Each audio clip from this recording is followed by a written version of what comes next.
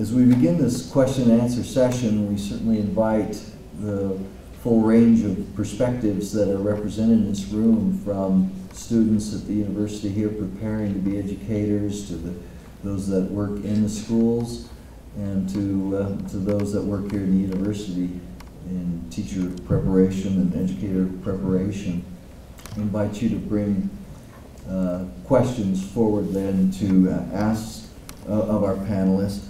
I'd like to um, to begin in a, in a, in a way, uh, in a sense, to ask them to provide somewhat of a summary statement of their message.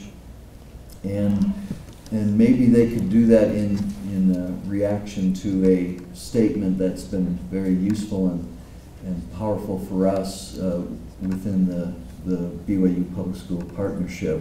And that's a, a well-known observation that Tocqueville made uh, many years ago about um, our democracy, our life here in America. And I'll, I'll read this quote and then ask each of the three panelists, our speakers here, to respond maybe within something that uh, is is within this quote, but as it relates to their primary message, because I think the messages that we heard today are, are contained or uh, at least have a relationship to some point that uh, de Tocqueville made in the past. So his quote is this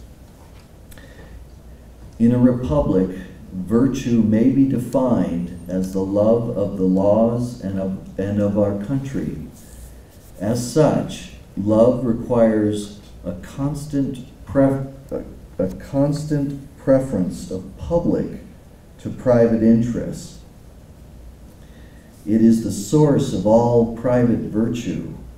Now, a government is like everything else. To preserve it, we must love it.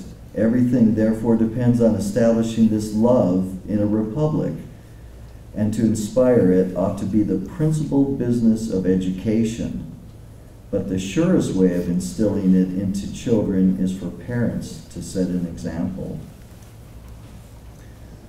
So we'll start with President Holland and uh, move across. And if that's a, a jumping off spot sure. for connecting to your message, it would be appreciated.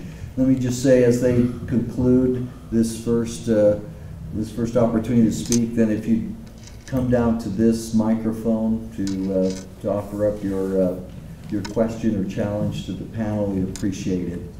And uh, we'll go from there. Thank you. Okay, thank you. Uh, so uh, of course, I'm uh, one very sympathetic to uh, the whole, whole Tocquevillian understanding of the development of America and its the needs that the things it needs to turn to for public health and and that those things are connected to issues that go beyond something that, um, as I tried to convey in my remarks, have become for many people sort of standard interpretation of American public life, which is the following that uh, in a way that went against uh, some of our pre modern and ancient ways of looking at the world, uh, the founder stepped forward to say, in many respects, that uh, the way that we can best live together is to actually not be quite as worried about one another as a community, that, that what was first and foremost the, the, the, foundation of our political order was a sense of individual rights so that people could freely choose to live for themselves how they wanted to. And that this was a very helpful um, corrective, if you will, to older ways of gathering together in a social order that tended to be religious and moral and tapping into a, a fine high Western tradition, but weren't always so good when it came to recognizing individual freedoms. And, uh, and that, that was a good thing, but in, in moving that direction, it has been taken too far. And that there is a sense that only by thinking about individual rights and individual liberty and the pursuit of individual happiness can we forge a common life together. And I think that's just patently false, and that we do have to look to things outside of ourselves to other people, to higher principles, to supplement and correct the way that, uh, that we will associate with one another. And those resources don't come from a, just a pure doctrine of, of individual rights and liberty. And they come from religion, they come from civic awareness, they come from parental example, they come from the practice of our individual moral conscious life, and they come from a whole array of things. And I have argued one, one of them being uh, a Judeo Christian tradition that teaches the importance of a genuine concern for other people. So my statement goes a little beyond Tocqueville's. Tocqueville, if you listen carefully at the beginning, is just about love for the laws and, and, uh, and the, the, the, communal good, if you will. But, uh, but I argue even that is dependent on, on something higher ultimately.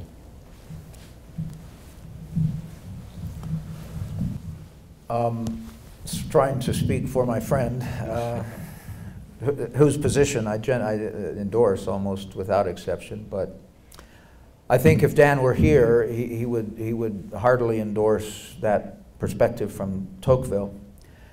But I think he would say something about love and what kind of love one might have for the Republic and so forth. And, and he would be, I, I think he would endorse heartily what President Holland said, that uh, our virtue is taught by the polis, by the whole network, by the whole society. I mean, it, it, you literally do have to float all the ethical boats at once, all the moral boats, all the institutions. It, it has to pervade everything that we do if, if that is going to, to, to, to happen.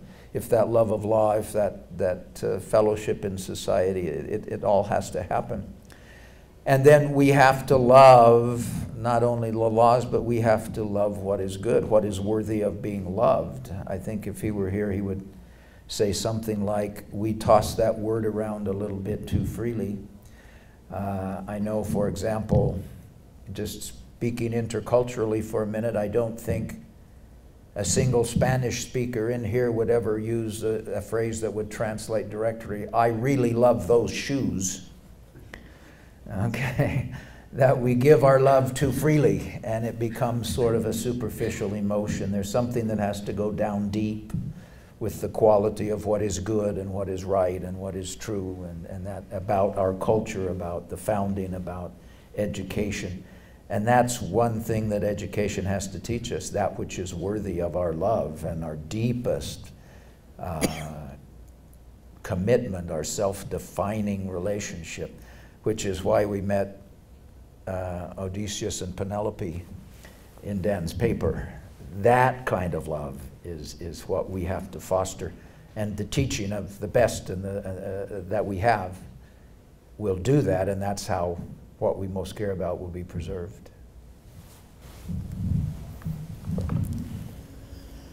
In the quote that Paul offered, he brought up the issue of parental example, so I was thinking maybe I ought to make a statement that would address past, present, and future.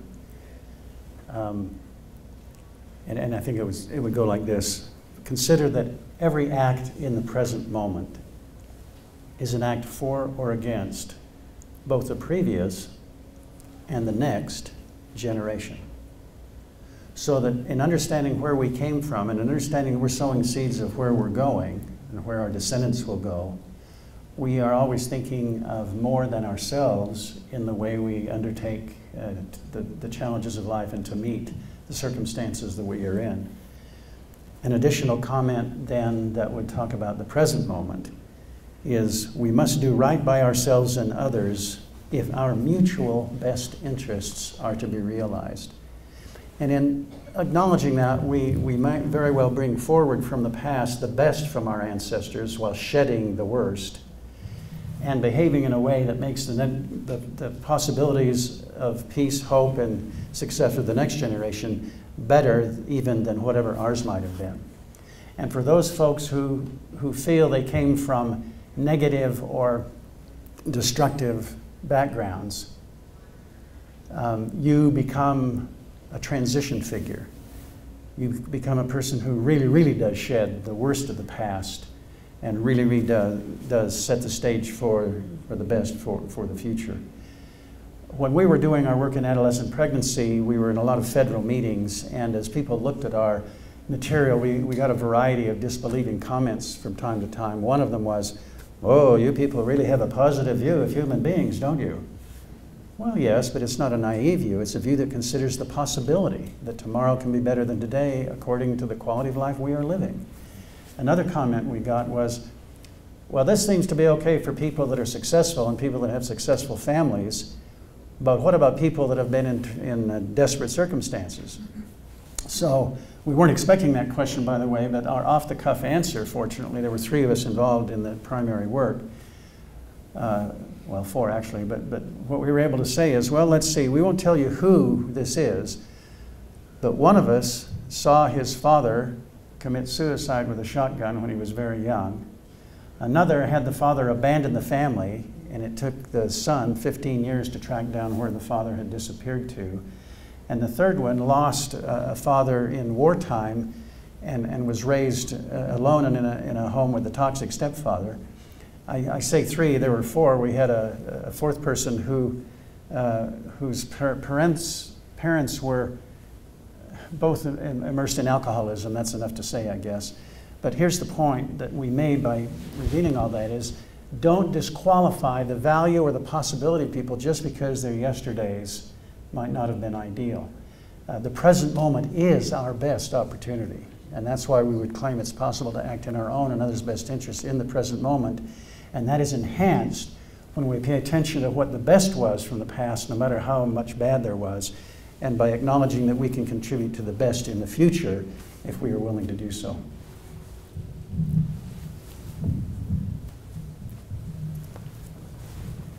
Questions? You'll come up to the microphone, and that, that will be helpful for the audience to hear.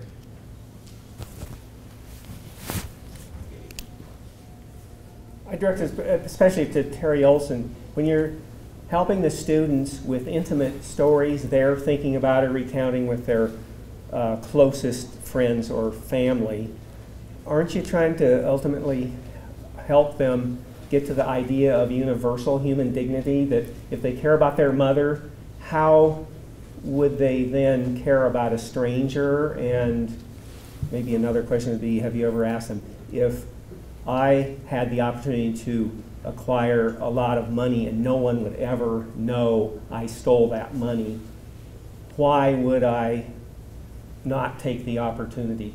Anyway, there's a couple questions.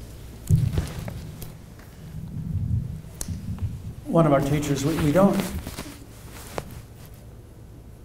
we think that the general use of moral dilemmas in moral education, generally speaking now, is unfortunate and maybe even wrong-headed in two ways. One, the dilemmas are contrived, and that in, in itself is already a problem.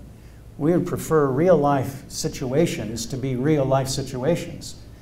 It's not that a contrived dilemma is inherently unfortunate, but it often is, and it often is because of the second problem with contrived dilemmas, and that is that you typically restrict the free choice, free ethical moral choices of the students you're handing the dilemma to, instead of letting it be totally open to what their own being true to conscience would suggest to them. So whether, you know, in terms of what to do with stolen money or whatever, we, we want to leave that open to the students um, and, and not to dictate it. Uh, I mean, the classic dilemmas are falling out of favor somewhat by Kohlberg's descendants, not, not completely. You've all heard them. You've all, you've all heard the lifeboat dilemma, where the boat sank or the plane crashed, and there are eight of you on a raft, and there's only enough food and water to go around for five, and so you have to decide who to throw out. And, and uh, so, you know, there's an aging golf pro with tuberculosis, there's a pregnant teenager, there's a, uh, you know, that, you know how it goes. Um, we had a 15 year old come up and we were guesting in a class for the teachers we were training and somehow the issue of dilemmas had come up, and she said, Yeah, you know, last, last semester I had been given a dilemma. I, she'd been given the lifeboat dilemma, which again I think is fading from the educational scene, I hope. Uh, but she had been given it, and she went to the teacher and said, You know, um, fr- frankly, if I were in that situation, I, my first moral thought is I wouldn't want to throw anybody out of the boat. I would rather wait and see what tomorrow will bring, and we'll just give our best together. And the teacher said, here's my example of restricting the choices. no, no, you've got to figure out which three you're going to throw out of the boat because we've got to see how you would reason about that. Now, the 15 year old wasn't, you know, astute enough to say, oh, in other words, I've got to reason out my way out of an immoral act that I don't believe is right. Take an innocent life so that I can preserve my own. Uh, I mean, she didn't, but anyway, she, she saw enough, and so she went ahead and went through this thing. But at the end, you know, preserve her integrity on the sheet, she wrote, but the real, my real decision, realistic, my real decision would have been I wouldn't have thrown anybody out of the boat because to me the moral issue here is not whether I live or whether I die, but how I live and how I die. Wisdom from a 15 year old who's almost supposed to not be able developmentally to see that, that wisely. Um, so there's my, there's my starting point. Oh, one more thing we were concerned about disclosure. That's where I thought you were going at first with your question. We, we, we, tried, we warned the students in advance, and most of the time this worked just well. We said, when you give us examples, we don't want you to give examples that are extreme or lurid or are so uh, of the stuff of which ought not to be disclosed in the public domain. We're, we're looking for everyday life examples anyway, so you don't have to have anything, you know, huge or dramatic that changed your life or anything. We want everyday life stuff that it's okay if your if your your co colleagues here in the class hear that and they're they're not there's nothing sufficient in them to tease you in the in the lunchroom or whatever. So yeah, we tried to, to limit the disclosure anyway by saying there are many examples in your own life, but we don't have to know about them. Give us the ones that we can all relate to and that will be that will teach us something about how to go about our business. Uh, Dr. Olson seemed fairly uh, optimistic on individuals' futures and societies. But in the other two, uh, the point was made, I think, Professor Robinson, aside from going back to ancient Greece, said, you know, the founding fathers, here's the pinnacle of, of putting these practices and principles uh, in place and having this perfect opportunity to do so with a civic society. And uh, President Holland, you talked about, you know, that relative getting it right in Massachusetts just happened to be at that point. But that, that idea of us not knowing what, how good we have it and letting it slip through our fingers, is it too late? Is, it, is there an optimistic future for the country or can we just make do the best we can at this point? Uh, no, I don't think it's too late. Um, and, you know, it's an, the whole nature, the whole, the whole notion of uh, view of human nature embedded in the founding is an interesting one because on one hand, there's enough optimism to say we really can do this, uh, unlike something that's ever been done in the history of the world before. We can live together as equals and talk and argue and reason for ourselves, and with the help of a little structure, we can make it work. And yet, um, when you dig into it, you also see that um, implicit in the structures that are created is a, is a somewhat pessimistic view of human nature. The founders just believed that we would basically be sort of self-interested cretins much of the time. And we couldn't trust any one person with uh, power and we'd have to always be in a check and balance against that. So uh, I made reference to the election of 1800. We complain about politics today, not nearly as nasty as that election of 1800. In some ways, we're more civil than we were back then. And certainly we're more civil today despite all of the problems that we face, all of the disagreement. We talk about this growing divide in the country. We're not shooting at each other like we were in 1860. So we do forget how bad things were in the past too. And so I, I look at America and its resources, and there's a reason to be genuinely concerned and really worried about trends and what's happening to the moral and cultural climate around us. And yet, I still see that there is a lot there to suggest that we're going to stay stable. We're going to, we can, we can live to see another day. Um, uh, there was a, if you're really looking for hope in all this, I might recommend to this crowd uh, talk that Elder Dallin H. Oaks gave at, at UVU a few uh, months ago as part of our Center for Constitutional Studies, where he talked about hope for a future age.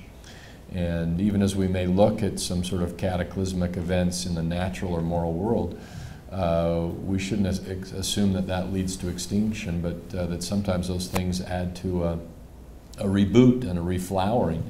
Uh, that the great books and the great ideas are great because they're permanent, they're true, and they will continue to reach back out to us. And maybe things have to get worse before they get better, but I still think there's absolutely reason for hope for the future.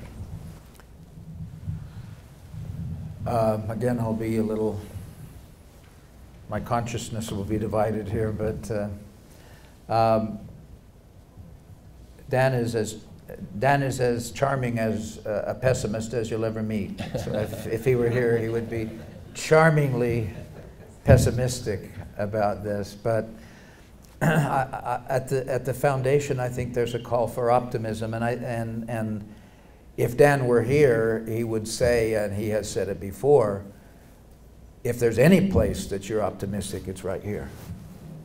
Uh, the fact that you're here. And I'm optimistic because I think if, if we had a conversation with, with each one of you, you know what has to be done. It's not rocket science. You know what has to be done. I, to, to me, the, the, the, the, the real issue is not can we do it, are we too far gone?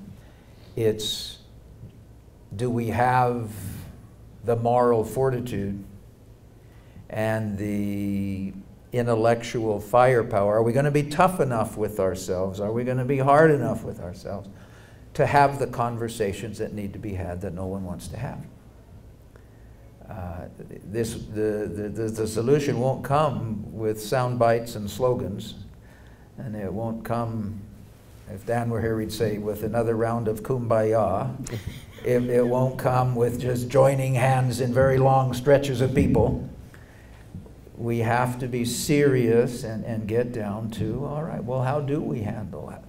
I thought, I thought the quote from uh, James Davison Hunter was, was, we want to have morality without judgments of morality. We, we want to have everybody get along without having to identify some things as right or wrong. So to me, the and, and I'm very optimistic, and for the same reason Dan would be if he were here. But the question is, do we have the determination and, and what will it take to get that determination? Does it have to get better, worse before it gets better? To have the conversations that need to be had on this topic. I've, in my own career, I've tried to make a point of raising issues everybody wishes I wouldn't, civilly, with love, with friendship, with compassion, but unflinching. And how well I've done that, I don't know. Dan would certainly be exhibit A. But that's what we need to learn to do, is, is to have those conversations out of love, concern, charity, and civility that need to be had to address the source of the problems so that it doesn't, and that's why I think leaking away is the problem. It's not going to be it's not going to fall apart, it's just going to leak away. And if we ever forget the questions, then we got real problems. We, we may not know the answers, but if we forget the questions, then we're in trouble. One of the things we asked our teachers to invite students to understand is that there are three major sources of our mortal, M O R T A L, troubles about which we can do something. There are other things we cannot do a lot about earthquakes, terrorist bullets, what have you. But the three main things that we can do something about are, are confronting our own ignorance by the pursuit of knowledge, confronting our own incompetence by pursuing skill building, and by confronting our moral resistance by being true to conscience. Now, it seems to me that civic preparation and engagement involves all three of those things. So the optimism comes from our willingness to not give up, to quote Winston of the Churchill variety.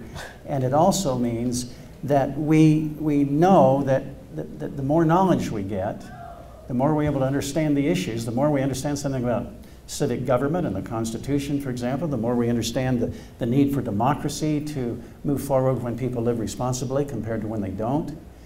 Uh, that's all the kind of knowledge that allows us to build skills in making arguments in public meetings, in explaining to people what the, what's at stake.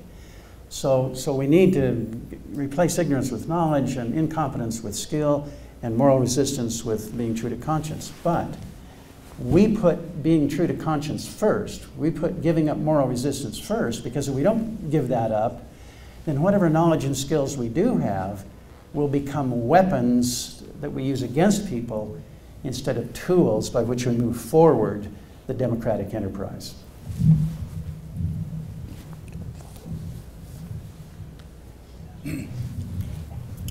Okay, I I seem to um, uh, gather from all of you that uh, central to your conceptions of civic virtue is uh, charity. And so I wanted to, I I think I know what your personal feelings are, but um, in, in terms of um, conveying this virtue publicly, it seems to me like a Christian understanding of charity um, is dependent on uh, a love of God. The New Testament te- teaches us that uh, we love, you know, the, the two great commandments, and we love Christ because he first loved us. And then we love our brother because we see in them a- another being that Christ loves. Christ has uh, not only died for my sins, but he's also died for, for this other person's sins. And that's what unites us as brothers under his fatherhood. Um, can we even hope to have a unity or brotherhood or charity in our society without acknowledging our shared dependence on Jesus Christ? And how do we do that publicly? No, that's an easy one. This is when it's like good to be a professor and not a practitioner.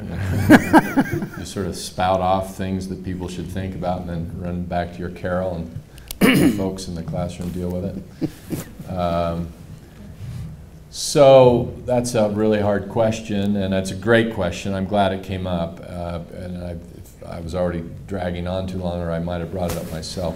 The kinds of things I was talking about, I'll, I'll admit, are very difficult to translate, especially in what I would, you know, call the sort of public ed world.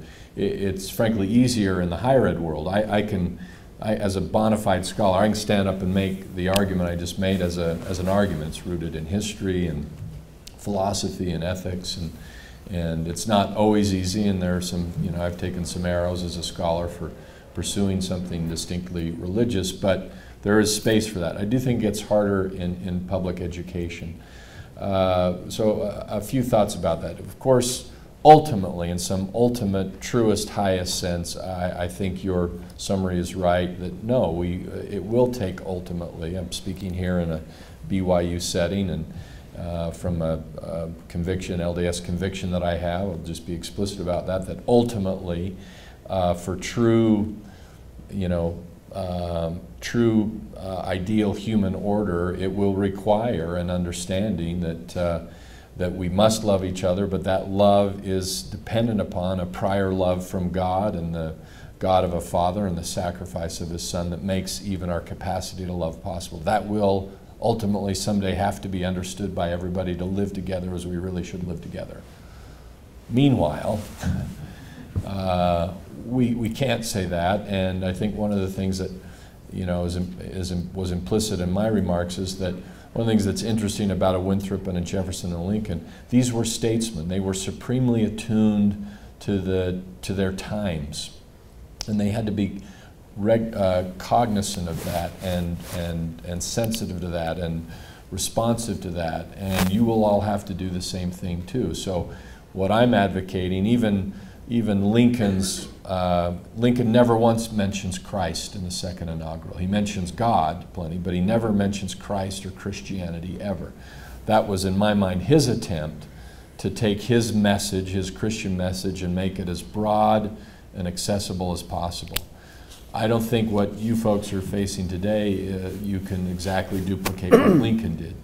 You'll have to find your own ways, your own purchase, your own language to do that in, a, in an increasingly pluralistic world where there's increasing concern about specific, sectarian, uh, highly, Christianized, highly Christianized ways of referring to things in the public sector.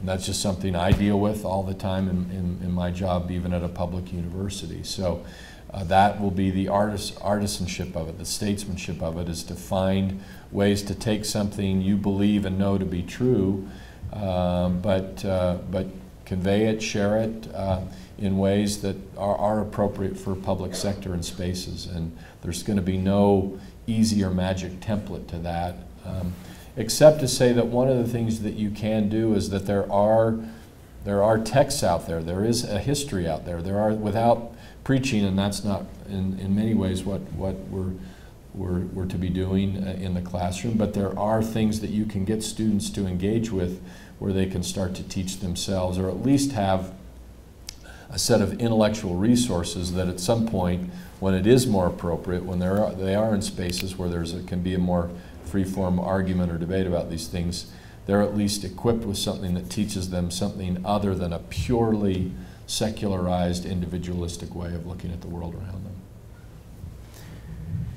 I, I don't think there's too much that needs to be added to that. I, I guess I would just say this is part, well, this issue that we've taken up has to be done on various levels and various fronts all at once. I, I wish that we're, I wish it were easier than that. Um, I, think President Holland is, is very wise in saying there are ways to tell the story of civic virtue and even charity in other languages. Uh, in my own work, for example, uh, whenever I want to talk about truth in an unflinching way, uh, instead of back from my own Mormon heritage, I, I, go to Martin Heidegger of all people, and that usually shuts up a lot of my critics. One of the bastions of postmodern uh, thought. Um, and when I want to talk about the, the absolute importance of an eternal soul, I go to Plato, because uh, that generates less heat and, and at least puts that in the discussion. And so I, I share that as, as a convicted Latter-day Saint that ultimately, yeah, it does come from God. But what I, what I am more concerned about now is instead of allowing the discourse to put more and more and more things out of bounds in the classroom, in the district, in the public discourse, you know, we have to somehow find fora, forums in which we can say, no, let's at least talk about this let's talk about charity. Now, my charity flows from my understanding of human nature and my understanding of God. Now, given that uh, Professor Olson can show us charity is an immutable fact of life, because everybody will tell you a, a story about charity. And if you don't like my explanation of it, you explain it. And let's just open the discourse and have all that in play in our public discourse. And that's not a fait accompli.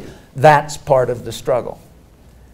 Is just a, and meanwhile we make a comparative advantage case. We say, well, my understanding of charity is this and this and this, and it comes from that, and this is this is what you get.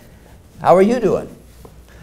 And to legitimate the discourse, I mean, that we would talk about charity as victory won. Then we we find ways of interacting with each other and on the various levels where we have to stretch and find room for conversation. It, it wasn't written on stone that thou shalt not discuss religion in public. It, this is a long line of human decisions that have, that have introduced this. And so if human decisions produced it, human decisions can rectify it. But we've got to be really good and really smart and really careful and unflinching and stubborn.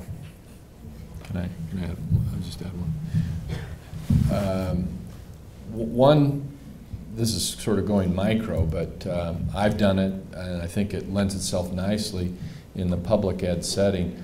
One of the ways you can do this in this day and age is um, maybe less through certainly John Winthrop and Jefferson and Lincoln get easier.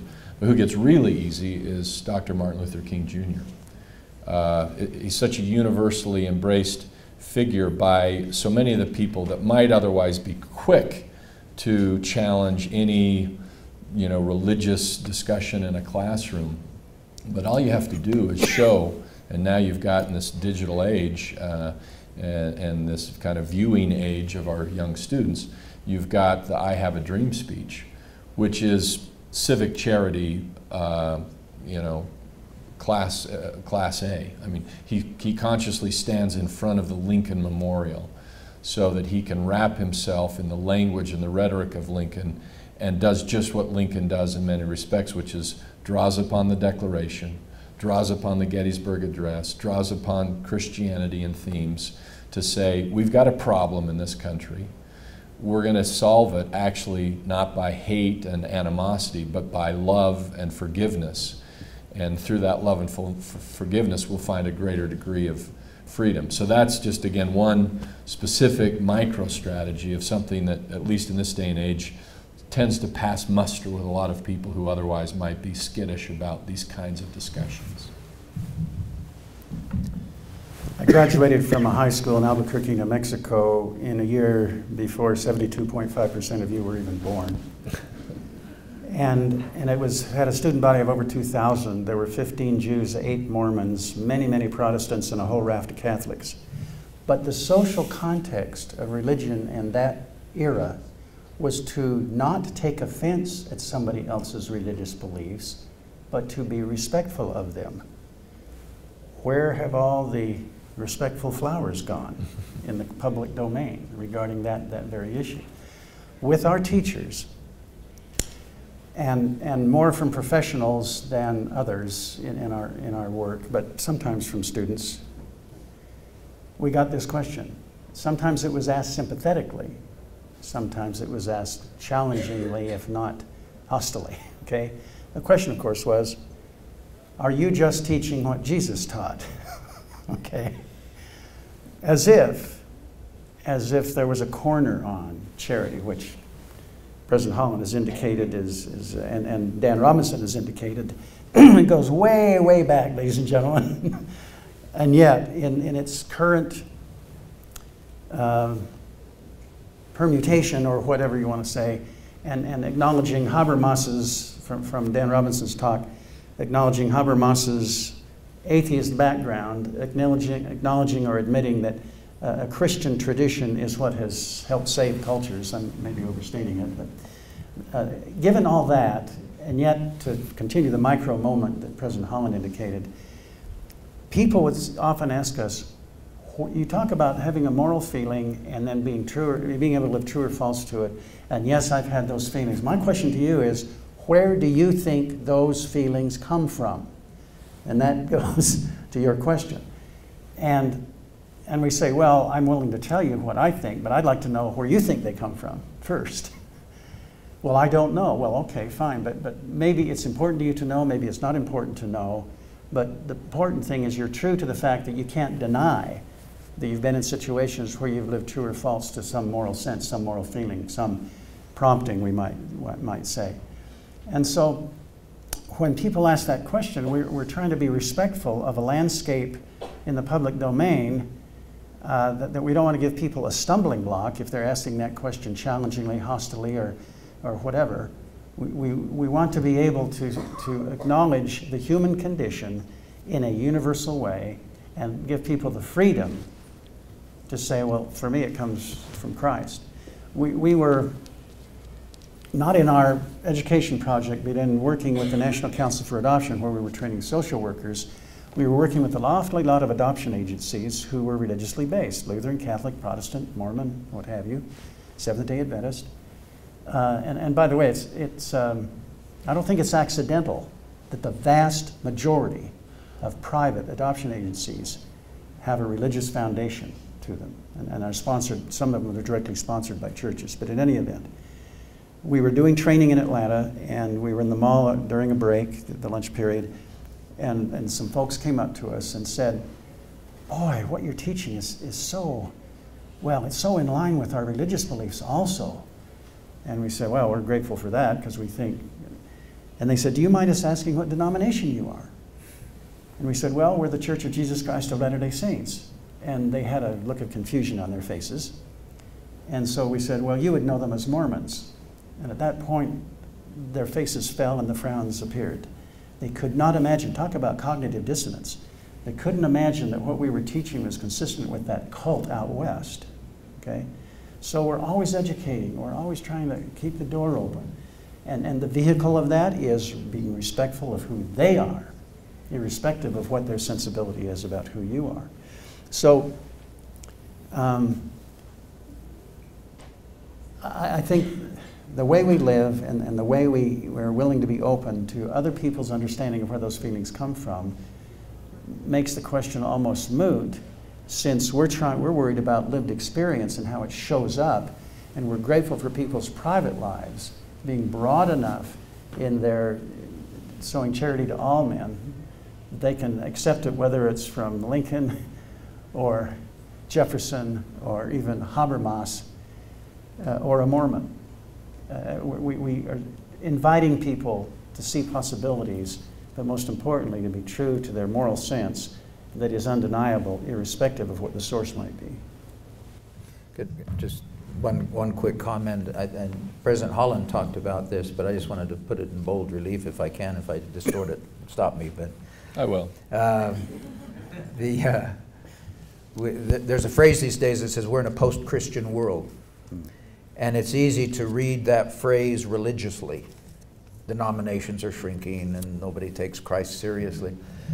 But beyond that, there's a meaning of Christianity that I think is the meaning John Adams had and, and the other founders had that, uh, that grounds the moral positions that, that we are identifying as essential to civic virtue.